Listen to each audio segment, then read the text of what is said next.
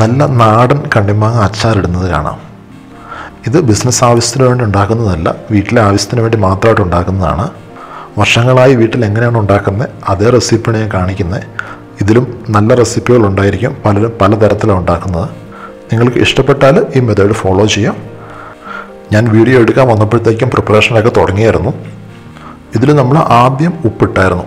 ഉപ്പിടുന്നത് വീഡിയോയിലില്ല കേട്ടോ.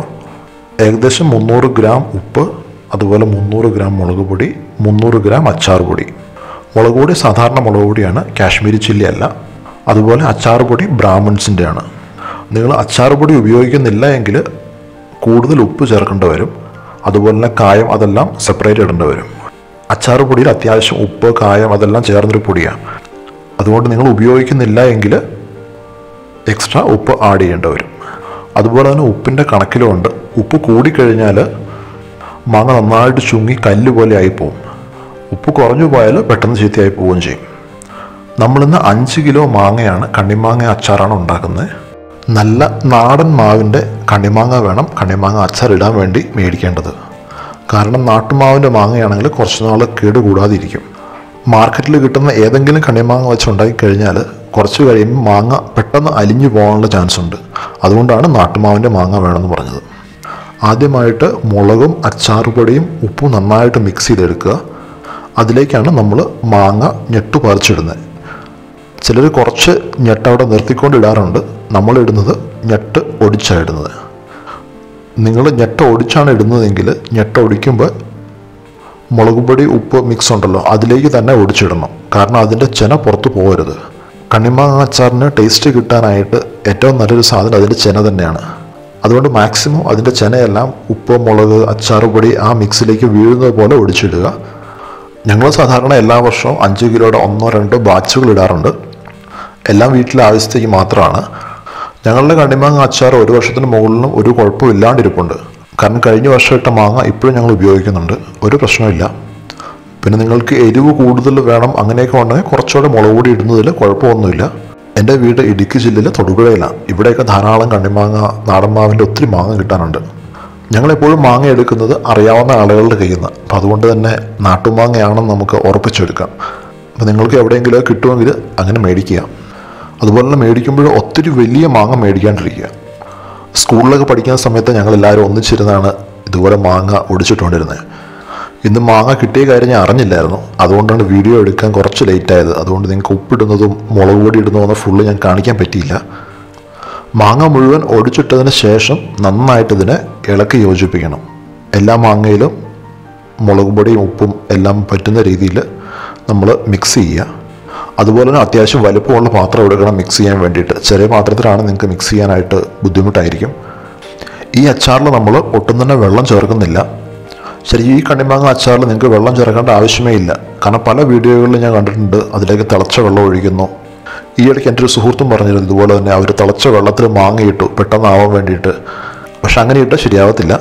നിങ്ങൾ ഉപ്പുമാങ്ങ ഇടുന്നതിന് കുഴപ്പമില്ല കല്ലുപ്പിട്ട് അതിൽ തിളപ്പിച്ചാറിയ വെള്ളം ഒഴിച്ചു വയ്ക്കാം.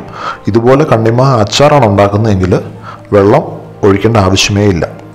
കാരണം മാങ്ങയിലെ വെള്ളമുണ്ട്. ആ മാങ്ങയിലെ വെള്ളം പുറത്തിറങ്ങി കഴിയുമ്പോഴാണ് മാങ്ങ ചുങ്ങി ചെറുതായി വരുന്നത്. ആ സമയത്ത് അതിലേക്ക് നമ്മൾ കൊടുത്തിരിക്കുന്ന ഉപ്പും മുളകും എല്ലാം പിടിച്ചിരിക്കും.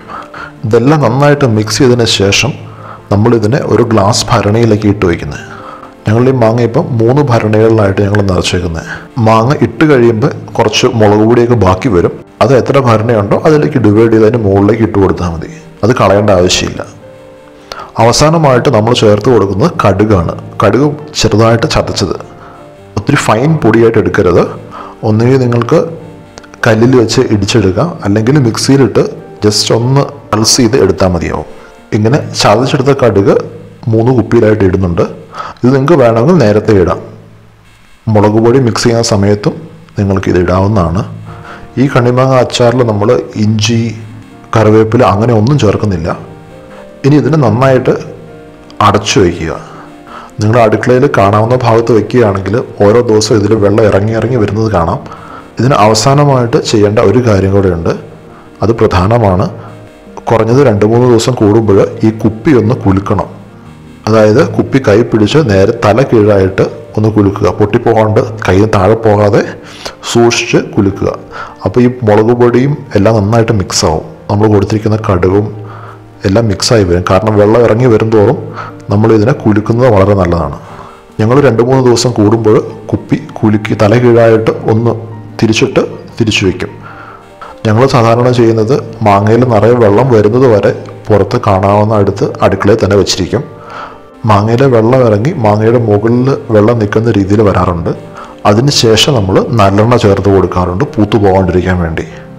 നിങ്ങൾക്ക് രണ്ട് തരത്തിൽ ചെയ്യാം. ഒന്ന് നല്ലെണ്ണ നേരെ ചേർത്ത് കൊടുക്കാം. അല്ലെങ്കിൽ നല്ലെണ്ണയിൽ ഒരു നല്ല കോട്ടൺ തുണി മുക്കിയിട്ട് അതിന് മുകളിൽ ഇട്ട് കൊടുക്കാവുന്നതാണ്. ഏറ്റവും നല്ലത് അത്യാവശ്യം നന്നായിട്ട് എണ്ണ നല്ലെണ്ണ കണ്ണിമാങ്ങയിൽ ഒഴിക്കുന്നതാണ് ഏറ്റവും നല്ലത്. പിന്നെ നിങ്ങൾക്ക് എണ്ണ ഇഷ്ടമില്ല എണ്ണ കുറച്ചുണ്ടാക്കണമെന്നുണ്ടെങ്കിൽ മാത്രം ഒരു കോട്ടൺ തുണിയിൽ മുക്കിയിടാവുന്നതാണ്. അതുപോലെ തന്നെ കണ്ണിമാങ്ങ അച്ചാർ റെഡി ആയതിനു ശേഷം നമ്മൾ എടുക്കുമ്പോൾ വെള്ളമുള്ള സ്പൂൺ കൊണ്ട് മാക്സിമം എടുക്കാണ്ടിരിക്കുക. നല്ല ഉണങ്ങിയ സ്പൂൺ കൊണ്ട് എടുക്കുകയാണെങ്കിൽ പൂപ്പൽ വരാണ്ടിരിക്കും. ഇതിലും നല്ല റെസിപ്പി നിങ്ങളുടെ ആരുടെയും കയ്യിലുണ്ടെങ്കിൽ തീർച്ചയായിട്ടും കമന്റ് ബോക്സിൽ എഴുതിയിടുക. എല്ലാവർക്കും ഉപകാരപ്രദമാവും.